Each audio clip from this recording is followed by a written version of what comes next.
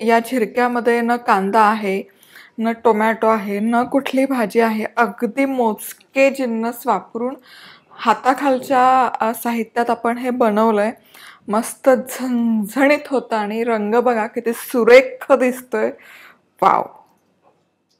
नमस्कार मी मधुरा. मधुराज रेसिपी मराठीमध्ये तुम्हा सर्वांचं खूप खूप खूप मनापासून स्वागत. सणासुदींची धामधूम थोडा दिवसांसाठी थांबलेली आहे संपलेली नाही. गणपती विसर्जन झालं आहे. दहा दिवसांमध्ये खूप सारं गोडधोड बनवणं होतं खाणंही होतं आणि गोड खाऊन सुस्ती येते कंटाळा येतो. मग काहीतरी जिभेचे चोचले ब पुरवण्यासाठी काहीतरी असं झणझणीत तिखट खायची इच्छा होते पण कमी कष्ट घेऊन कमी त्रासात अगदी कांदाही चिरायचे श्रम नाही. तर आज आपण बनवतोय झिरकं. झिरकं ही साधारण नाशिककडे बनवली जाणारी झटपट होणारी शेंगदाण्याची आमटी आहे. हिरवी मिरची आणि लसणाचा जबरदस्त खमंग सुवास येतो. तर सगळ्यात आधी अगदी बेसिक तयारी करूयात. तवा गरम करायला ठेवायचा. यामध्ये घालायचे पाव कप शेंगदाणे. आणि हलकासा रंग बदलेपर्यंत शेंगदाणे भाजून घ्यायचे. आता हे सगळं वेगळं वेगळं भाजायची गरज नाही ॲक्च्युली तुमच्याकडे जर शेंगदाण्याचा कूट असेल ना फक्त तो कूट वापरूनही तुम्ही ही आमटी करू शकता. मी थोडं सोकं खोबरं तीळ वगैरे घालते. फक्त शेंगदाण्याचा कूट असेल तर तोही घालून फटाफट तुम्ही ही आमटी करू शकता.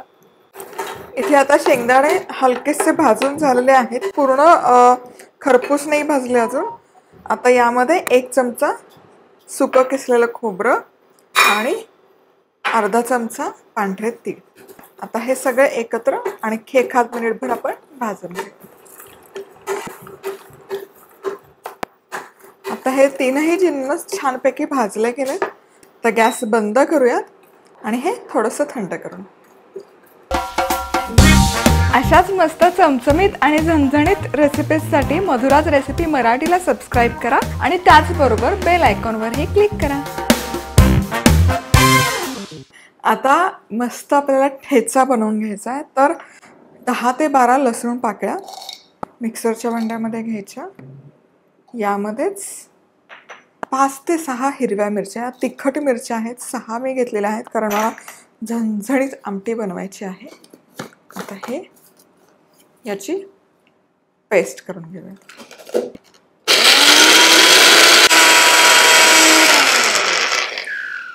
हे बनवून तयार आहे. परफेक्ट सो खूप असं बारीक आपल्याला वाटून नाही घ्यायचं ओबडधोबडच करायचं. आता मी हे काढून घेते एका बावलीमध्ये आता त्याच मिक्सरच्या भांड्यामध्ये खूप सारी कोथिंबीर स्वच्छ धुवून घेतलेली घालायची आणि ही मिक्सरमध्ये वाटून घ्यायची.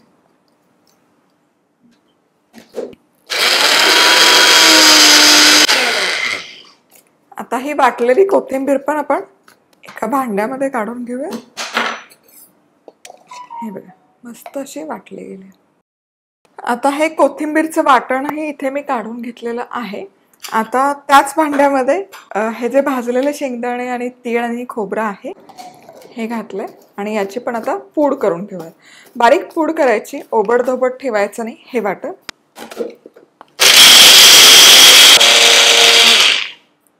ही पूड आता आपली बनवून तयार आहे. येस परफेक्ट सगळे वाटण बनवून तयार आहेत. लसूण मिरचीचा ठेचा शेंगदाण्याचा कूट आणि कोथिंबीरचा ठेचा. आता हे सगळं तुम्ही एका ओघामध्ये करू शकता. फोडणीला ठेवलं की पटकन ठेचा बनवून घेऊ शकता. ठेचा फोडणीत घालायचा आणि मग पॅरलली कोथिंबीर. सो अगदी पाच मिनिटात होणारी रेसिपी आहे. आता तेल गरम झालं. यामध्ये अर्धा चमचा मोहरी. मोहरी मस्त तडतडली पाहिजे.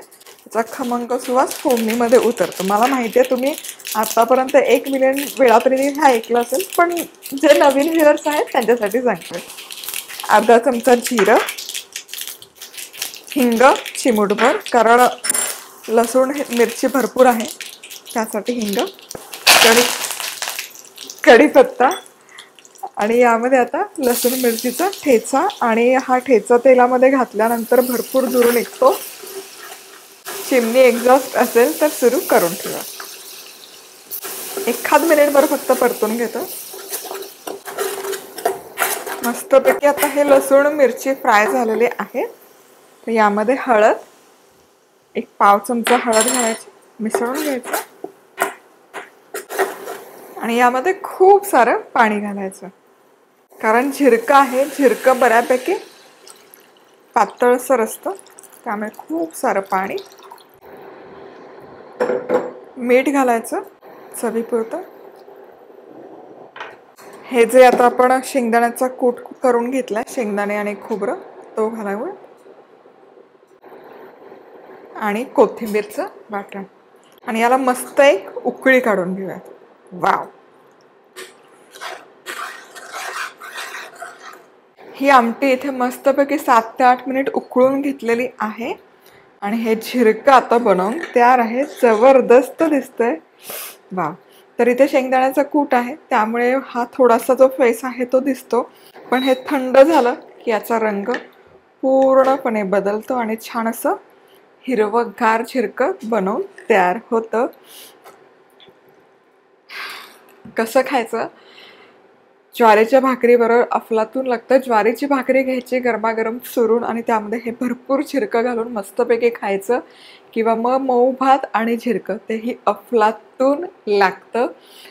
रेसिपी आवडली तर सबस्क्राईब करायला विसरू नका. पुन्हा भेटूयात अशाच मस्त रेसिपीवर. तोवर मस्त राहा खुश राहा आनंदी राहा आणि सगळ्यात महत्त्वाचं खात राहा.